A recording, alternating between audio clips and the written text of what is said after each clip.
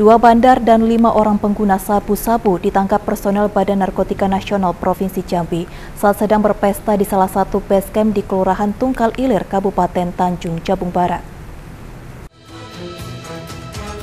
Badan Narkotika Nasional Provinsi Jambi kembali menangkap dua orang bandar dan lima pengguna narkoba jenis sabu-sabu saat sedang berpesta di Jalan Sentral RT 005 Kelurahan Kampung Nelayan, Kecamatan Tungkal Ilir, Kabupaten Tanjung Jabung Barat, Provinsi Jambi pada Sabtu 20 Agustus 2022. Tujuh orang yang diamankan tersebut berinisial Man alias M, Mar alias Yan, Riz alias IB, Soh alias EB, selanjutnya Nan alias N, Her alias Sam, dan D alias Y.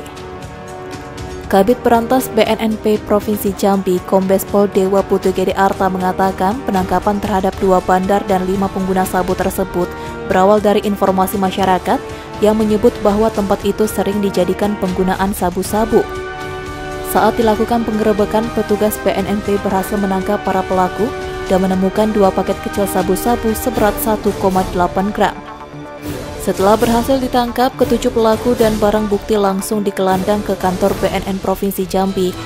Saat dilakukan gelar perkara, dua bandar yang berhasil ditangkap ditetapkan sebagai tersangka, sedangkan lima orang pengguna menjalani rehabilitasi di Badan Narkotika Nasional Provinsi Jambi. Dimas Sanjaya, Cek TV, melaporkan.